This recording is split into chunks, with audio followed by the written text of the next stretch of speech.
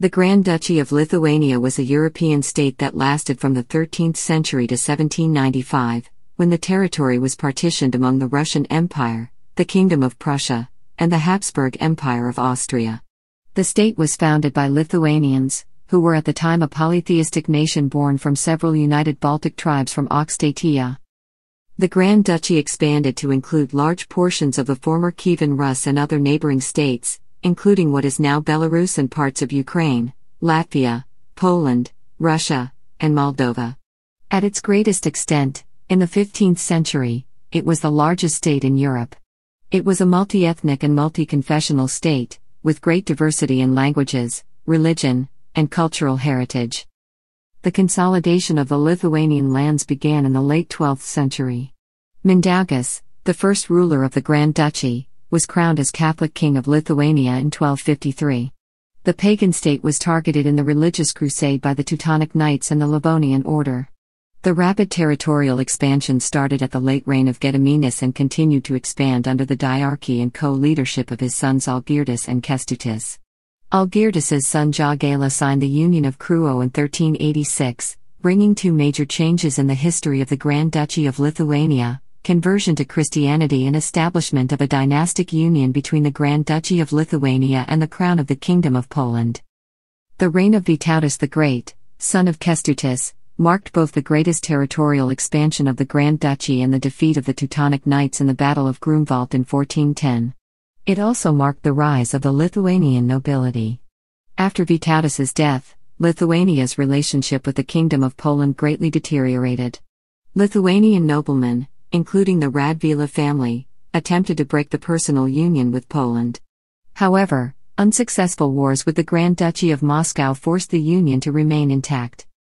Eventually, the Union of Lublin of 1569 created a new state, the Polish Lithuanian Commonwealth. In the Federation, the Grand Duchy of Lithuania maintained its political distinctiveness and had separate ministries, laws, army, and treasury. The Federation was terminated by the passing of the Constitution of May 3, 1791, when it was supposed to become a single country, the Commonwealth of Poland, under one monarch, one parliament, and no Lithuanian autonomy. Shortly afterward, the unitary character of the state was confirmed by adopting the reciprocal guarantee of two nations. However, the newly reformed Commonwealth was invaded by Russia in 1792 and partitioned between neighboring states a truncated state remained that was nominally independent. After the Kościuszko uprising, the territory was completely partitioned among the Russian Empire, the Kingdom of Prussia and Austria in 1795. History Establishment of the state. The first written reference to Lithuania is found in the Quedlinburg Chronicle, which dates from 1009. In the 12th century, Slavic chronicles refer to Lithuania as one of the areas attacked by the Rus. Pagan Lithuanians initially paid tribute to Polotsk, but they soon grew in strength and organized their own small scale raids. At some point between 1180 and 1183, the situation began to change, and the Lithuanians started to organize sustainable military raids on the Slavic provinces, raiding the Principality of Polotsk as well as Pskov, and even threatening Novgorod. The sudden spark of military raids marked consolidation of the Lithuanian lands in Aukštaitija. The Lithuanian Crusade began after the Livonian Order and Teutonic Knights, crusading military orders, were established in Riga in 1202 and in Prussia in 1226, respectively. The Christian orders posed a significant threat to pagan Baltic tribes, and further galvanized the formation of the Lithuanian state.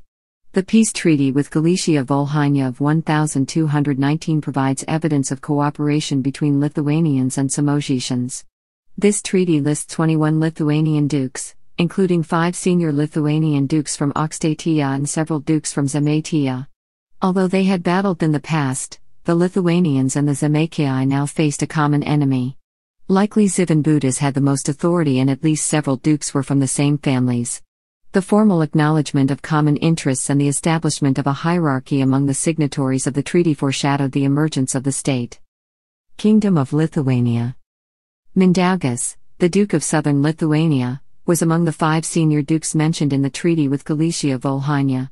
The Livonian Rhymed Chronicle reports that by the mid 1230s, Mindaugas had acquired supreme power in the whole of Lithuania. In 1236, the Samogitians, led by Vykintas, defeated the Livonian order in the Battle of Saule. The order was forced to become a branch of the Teutonic Knights in Prussia, making Samogitia, a strip of land that separated Livonia from Prussia, the main target of both orders. The battle provided a break in the wars with the Knights, and Lithuania exploited this situation, arranging attacks towards the Ruthenian provinces and annexing Novorossiysk and Grodno. In 1248, a civil war broke out between Mindaugas and his nephews Tautvilas and Edivydas. The powerful coalition against Mindaugas included Vykintas, the Livonian order, Daniel of Galicia and Vasilko of Volhynia. Taking advantage of internal conflicts, Mindaugas allied with the Livonian order. He promised to convert to Christianity and to exchange some lands in western Lithuania in return for military assistance against his nephews and the royal crown. In 1251, Mindaugas was baptized and Pope Innocent IV issued a papal bull proclaiming the creation of the Kingdom of Lithuania. After the civil war ended, Mindaugas was crowned as King of Lithuania on July 6, 1253, starting a decade of relative peace. Mindaugas later renounced Christianity and converted back to paganism. Mindaugas tried to expand his influence in Polotsk, a major center of commerce in the Daugava River basin, and Pinsk. The Teutonic Knights used this period to strengthen their position in parts of Samogitia and Livonia, but they lost the Battle of Skuodas in 1259 and the Battle of Durbe in 1260. This encouraged the conquered Semigallians and Old Prussians to rebel against the Knights. Encouraged by Treniota, Mindaugas broke the peace with the order, possibly reverted to pagan beliefs. He hoped to unite all Baltic tribes under the Lithuanian leadership. As military campaigns were not successful, the relationships between Mindaugas and Treniota deteriorated. Treniota, together with Domantas of Pskov, assassinated Mindaugas and his two sons, Rukles and Repeikis, in 1263. The state lapsed into years of internal fighting. Rise of the Gediminids. From 1263 to 1269, Lithuania had three Grand Dukes, Treniota, Vaisvilkas, and Sparnas. The state did not disintegrate, however, and Traidenis came to power in 1269. He strengthened Lithuanian control in Black Ruthenia and fought with the Livonian order, winning the Battle of Karuse in 1270 and the Battle of Aizkrauk in 1279. There is considerable uncertainty about the identities of the Grand Dukes of Lithuania between his death in 1282 and the assumption of power by Vytenis in 1295. During this time, the orders finalized their conquests. In 1274, the Great Prussian Rebellion ended, and the Teutonic Knights proceeded to conquer other Baltic tribes, the Nadruvians and Scalvians in 1274 to 1277, and the Jotvingians in 1283. The Livonian order completed its conquest of Semigallia, the last Baltic ally of Lithuania, in 1291. The orders could now turn their full attention to Lithuania. The buffer zone composed of other Baltic tribes had disappeared, and Grand Duchy of Lithuania was left to battle the orders on its own. The Gediminid dynasty ruled the Grand Duchy for over a century, and Vytenis was the first ruler from the dynasty. During his reign, Lithuania engaged in constant warfare with the Order, the Kingdom of Poland, and Ruthenia. Vytenis was involved in succession disputes in Poland, supporting Boleslaus II of Masovia, who was married to a Lithuanian duchess, Gaudimunda. In Ruthenia, Vytenis managed to recapture lands lost after the assassination of Mindaugas and to capture the principalities of Pinsk and Turau. In the struggle against the order, Vytenis allied with citizens of Riga, securing positions in Riga strengthened trade routes and provided a base for further military campaigns. Around 1307, Polotsk, an important trading center, was annexed by military force. Vytenis also began the construction of a defensive castle network along the Niemen River. Gradually, this network developed into the main defensive line against the Teutonic Order. Territorial expansion. The expansion of the state reached its height under Grand Duke Gediminas, who created a strong central government and established an empire that later spread from the Black Sea to the Baltic Sea.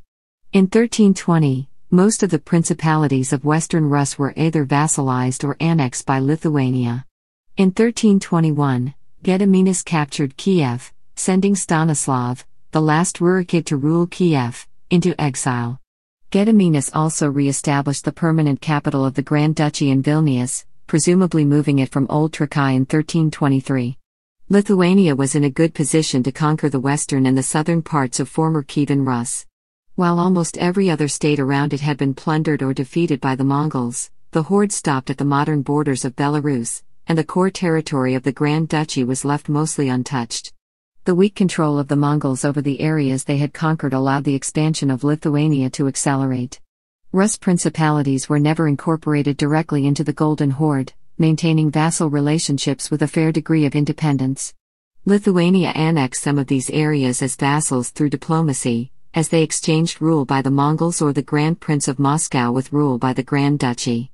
An example is Novgorod, which was often in the Lithuanian sphere of influence and became an occasional dependency of the Grand Duchy. Lithuanian control resulted from internal frictions within the city, which attempted to escape submission to Muscovy. Such relationships could be tenuous, however, as changes in a city's internal politics could disrupt Lithuanian control, as happened on a number of occasions with Novgorod and other East Slavic cities. The rapid expansion of the influence of Muscovy soon put it into a comparable position as the Grand Duchy of Lithuania, and after the annexation of Novgorod in 1478, Muscovy was among the preeminent states in northeastern Europe. Between 1492 and 1508, Ivan III further consolidated Muscovy, winning the key battle of Vedrosha and regaining such ancient lands of Kievan Rus as Chernihiv and Bryansk. On September 8, 1514, the allied forces of the Grand Duchy of Lithuania and Kingdom of Poland, under the command of Hetman Konstanty Ostrogski, fought the Battle of Orsha against the army of the Grand Duchy of Moscow, under Konyushi Ivan Chelyadnin and Knyaz Mikhail Golitsyn. The battle was part of a long series of Muscovite Lithuanian wars conducted by Russian rulers striving to gather all the former lands of Kievan Rus under their rule. According to Rerum Moscoviticarum Commentarii by Sigismund von Herberstein, the primary source for the information on the battle, the much smaller army of Poland Lithuania defeated the 80,000 Muscovite soldiers, capturing their camp and commander. The Muscovites lost about 30,000 men, while the losses of the Poland Lithuania army totaled only 500. While the battle is remembered as one of the greatest Lithuanian victories, Muscovy ultimately prevailed in the war. Under the 1522 peace treaty, the Grand Duchy of Lithuania made large territorial concessions. Polish Lithuanian Commonwealth. The wars with the Teutonic Order, the loss of land to Moscow, and the continued pressure threatened the survival of the state of Lithuania, so it was forced to ally more closely with Poland, uniting with its western neighbor as the Polish Lithuanian Commonwealth in the Union of Lublin of 1569. During the period of the Union, many of the territories formerly controlled by the Grand Duchy of Lithuania were transferred to the Crown of the Polish Kingdom, while the gradual process of Polonization slowly drew Lithuania itself under Polish domination. The Grand Duchy retained many rights in the Federation until the May Constitution of Poland and reciprocal guarantee of two nations were passed in 1791 partitions and the Napoleonic period. Following the partitions of the Polish Lithuanian Commonwealth, most of the lands of the former Grand Duchy were directly annexed by the Russian Empire, the rest by Prussia. In 1812, just prior to the French invasion of Russia, the former Grand Duchy revolted against the Russians. Soon after his arrival in Vilnius, Napoleon proclaimed the creation of a commissary provisional government of the Grand Duchy of Lithuania, which, in turn, renewed the Polish Lithuanian Union. The union was never formalized, however, as only half a year later Napoleon's Grand Armée was pushed out of Russia and forced to retreat further westwards. In December 1812, Vilnius was recaptured by Russian forces, bringing all plans of recreation of the Grand Duchy to an end. Most of the lands of the former Grand Duchy were re annexed by Russia. The Augusto voivodeship, including the counties of Mariampol and Kalvarija, was attached to the Kingdom of Poland, a rump state in personal union with Russia.